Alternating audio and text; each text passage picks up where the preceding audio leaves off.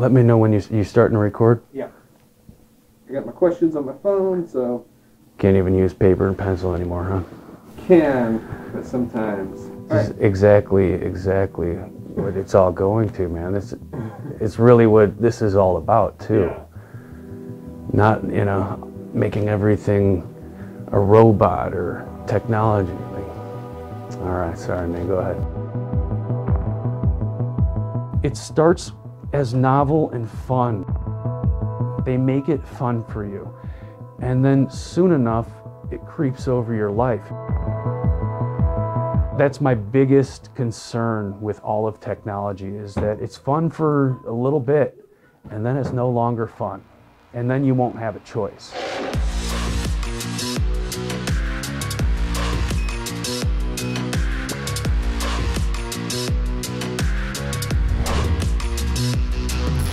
Everywhere we go, we are being tracked and monitored. And as technology evolves, it may seem like surveillance culture is unavoidable.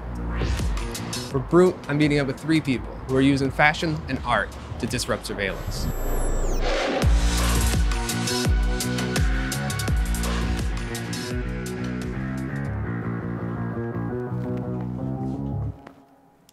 People call me Skitch, and I'm an eyeglasses maker who also cares about privacy, so I combined the two.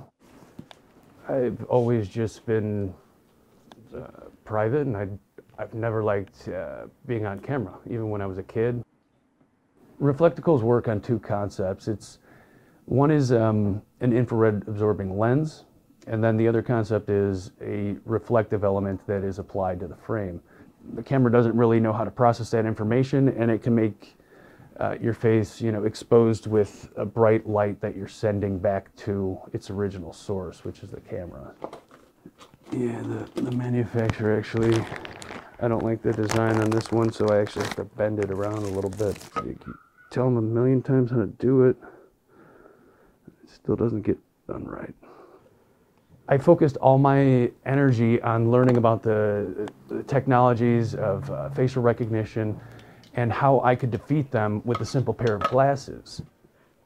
And I'm always trying to be one step ahead of them because it's going to come. You know, technology is not stopping, it's on a roll. So I'm ready to go. surveillance is no longer about criminal, it's about making money. So it's not that you don't have anything to hide anymore. It's do you want to be a product? I, I think it basically takes away a, a, sense of our humanity. So all I'm trying to do with you know privacy eyeglasses, it's just an option to say I don't want to participate in you know being tracked and monitored everywhere I go.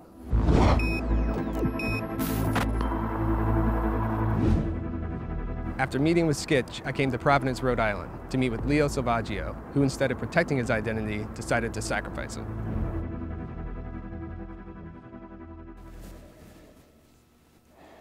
So tell me about this mask. Well, this mask is my face. yeah, yeah, it's my face. I created it as a way to thwart facial recognition systems. When someone goes out into public and they put on this mask, surveillance cameras will essentially attribute all of their actions as my own. While at the same time, anyone who is performing my identity in public as, you know, a Leo, if you will, creates disinformation and feeds it back into the system. And that's just one way that I'm thinking about how we can resist surveillance culture.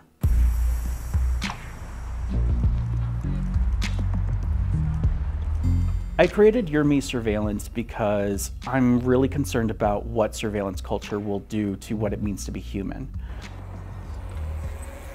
When we are watched or observed, we alter our behavior. The reality is, is that we're always constantly watched and observed. I remember being like a kid and like, if I knew my mom was watching me, like I was just like a much better kid. Right? I was like a much, much better kid than when I was alone. Like, and like now, like literally Big Brother is watching us all the time. Who are we gonna be when, when we're constantly on guard and being measured to a value system that we didn't sign up for? Join me. You are me. I started with a white male face because that is my face. If you want to be invisible to surveillance, just be a white man in a suit. The sad reality is we don't live right now in a country where where you could say the same about other faces, right? So there's this concept called sousveillance, which is using surveillance technology against the surveillors or against the party in power. I wanted to create a project that encouraged people to record video when they're going to protests or other actions so that they had a way of defending themselves in court should they be arrested or should someone that they were recording be arrested. So I found some flip-flops and it's just about figuring out the right size I want. What it is, is it's an online archive of DIY tutorial design for body cameras that can be made out of household materials or things that you can source from the dollar store.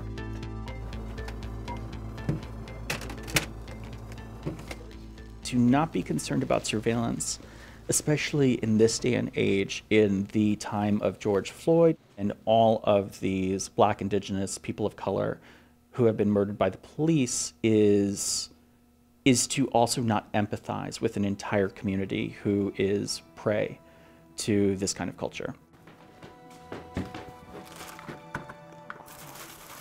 With the body cam project, I am very inspired by the materials that I find. To keep it from coming up, so I'm going to try. There's a huge part of me that like just wants to try stupid things to try stupid things. Like why not take two steering wheel covers and, and a flip-flop and see what you could do with it.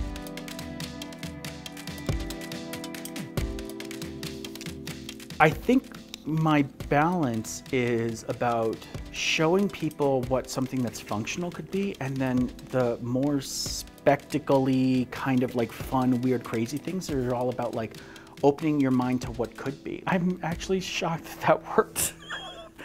uh, you know, I didn't do all of the other things that I did to the other one, but like, I mean, you know, with all of the straps and the security stuff, like, that might actually be better. That's not what was supposed to happen.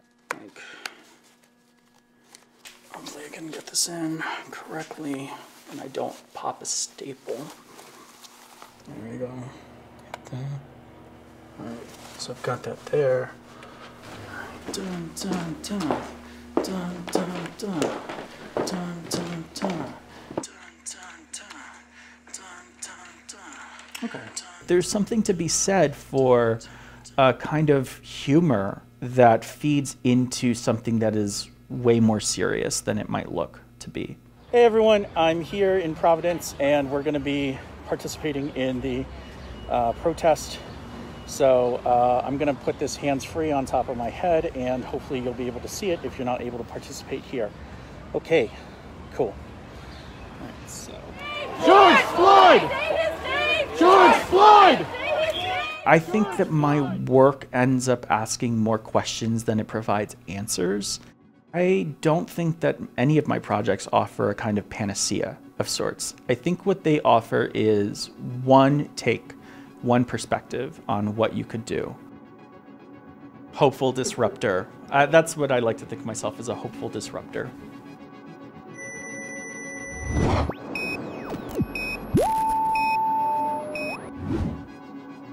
Drove out to the Columbia River Gorge in Washington to meet with Kate Bertash, who created a fashion line that floods license plate readers with fake data.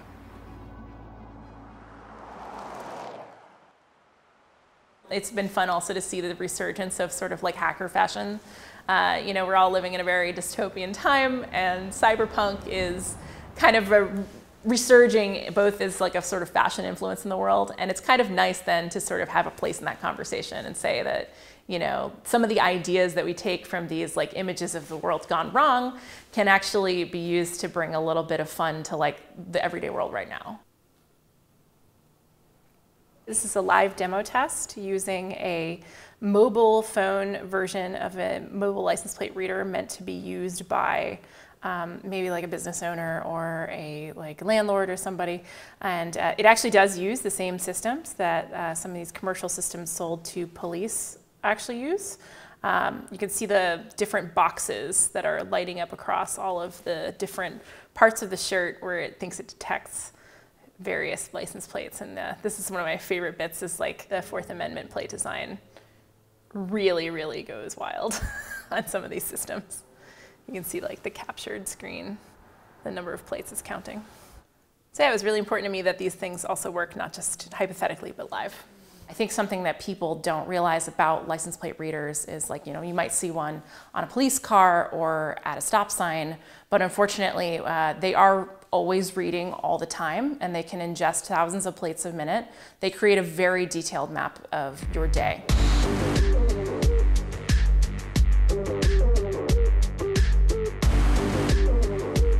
Hopefully by showing that uh, they could be affected by something as simple as like a piece of clothing, that we kind of question sort of the places these systems have in our society.